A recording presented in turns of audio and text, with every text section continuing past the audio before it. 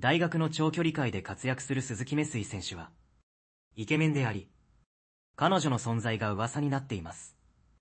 鈴木メスイ選手の出身小学校、中学校、高校、そして現在の彼女について、ウィキ風プロフィールで紹介します。駒大、鈴木メスイのウィキ風プロフィール。画像は鈴木メスイ。生年月日、2001年6月3日。出身地、静岡県熱海市。学歴、熱海市立泉中学校。佐久長聖高等学校。駒沢大学経営学部。陸上競技部、長距離走を専門とし。三大駅伝に出走。2022年度は首相を務める。自己ベスト、5000メートル13分27秒83。1万 M27 分41秒68。ハーフマラソン1時間03分07秒。駒大、鈴木メスイは、イケメンで彼女はいる。アゾーは、駒大、鈴木メスイは、イケメンで彼女はいる。鈴木メスイ選手は、水も滴るようなイケメンで、多くの女性ファンに魅了されています。彼は、熱海の貴公子、として知られており、モテないわけがありません。しかし、彼の彼女に関する情報を調査しても、公の場では見つかりませんでした。彼は、駒沢大学陸上競技部で、厳しい練習に没頭しているため、競技に集中したいのかもしれません。大学内では人気がありますが、彼が好むタイプの情報として、森菜奈々さんの名前が挙がっているようです。鈴木メスイ選手は、間違いなくイケメンです。彼の恋愛事情は気になりますが、何よりも、彼の今後の活躍が楽しみですね。駒大、鈴木メスイの出身小学校は、鈴木メスイ選手は、熱海市立泉小学校、出身で、静岡県熱海市で生まれ育ちました。彼の日々は、後の彼の陸上選手としての才能を育む土壌となりました。駒大、鈴木メスイの出身中学は、鈴木メスイ選手は、熱海市立泉中学校で過ごし、ここでは、陸上の世界に足を踏み入れ、伊東市の伊東陸上クラブに通いながら、中学のテニス部に所属しました。彼の多彩さが、二つの異なるスポーツに情熱を注ぐ姿から垣間見えます。駒大、鈴木メスイの出身高校は、鈴木メスイ選手は、長野県の佐久長聖高等学校で陸上を経験しました。彼の経験は、彼の陸上人生にとって非常に価値あるものでした。彼は、全国高校駅伝で区間賞を獲得し、その才能を全国に知らしめる活躍をしました。駒大、鈴木メスイの大学での成績は、アゾーは、駒大、鈴木メスイの大学での成績は、鈴木メスイの大学での成績は、以下の通りです。主な実績は、2020年の全日本インカレ5000メートルでの13分43秒07。2020年の全日本大学駅伝3区での区間5位。2021年の箱根駅伝5区での区間4位。2021年の日本選手権1万 M での総合3位。2022年の出雲駅伝6区での区間賞。2022年の箱根駅伝4区での区間3位です。鈴木メスイの大学での成績は以上です。彼の今後の活躍にも期待しましょう。駒大、鈴木メスイの進路は、画像は、駒大、鈴木メスイの進路は、鈴木メスイ選手の卒業後の進路については、具体的なことは公表されていませんが、多くの陸上ファンや専門家は、彼が陸上競技を続けることを予想しています。一部の情報によれば、彼が将来所属する可能性のある企業チームとして、トヨタ自動車や九電工などの競合チームが挙げられています。これらのチームには、田沢蓮選手や山野努選手などのトップアスリートが在籍しており、鈴木選手もその一員として活躍することを待ち望むファンは多いでしょう。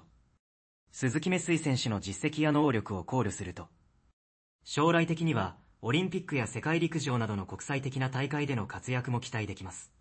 彼の進路がどうなるか、見守っていきたいですね。まとめ。画像はまとめ。鈴木メスイ選手についての紹介は以上です。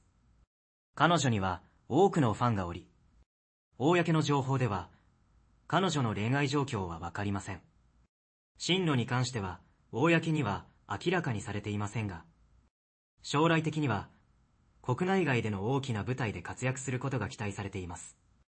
最後までお読みいただきありがとうございました。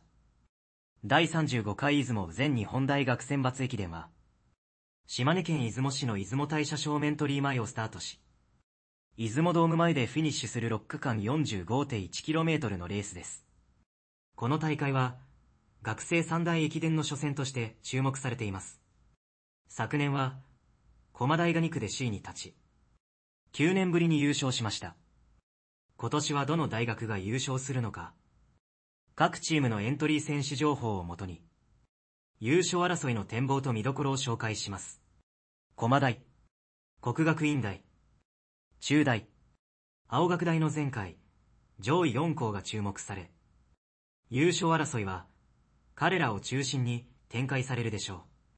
駒大の V メンバーである花尾京介、安原太陽、鈴木メスイ、佐藤啓太は今年もエントリーしています。さらに、ハーフマラソン日本人学生記録保持者の篠原幸太郎や、関東インカレ2部ハーフマラソン優勝者の赤星武史と、昨年度の全日本大学駅伝4区区間賞の山川拓馬、同箱根駅伝6区区間賞の伊藤葵忠も参加しています。夏合宿は順調に進み、最長区間の6区を走ることが予想される。前半区間では、佐藤と篠原が起用される見込みですが、佐藤は10月4日にアジア大会の 5000M を走りたばかりで、疲労の程度によっては欠場する可能性もあります。ただし、前回1区で2位だった花尾宿5区で区間賞を獲得した安原、夏合宿を順調にこなしている伊藤や山川など、どの選手もカバーできるだけの実力があります。国学院大学は山本歩夢、平林清澄、伊地知健三の3人が2区。3区、6区を担当し、チームの柱となります。平林は、今季1万メートルで27分55秒15。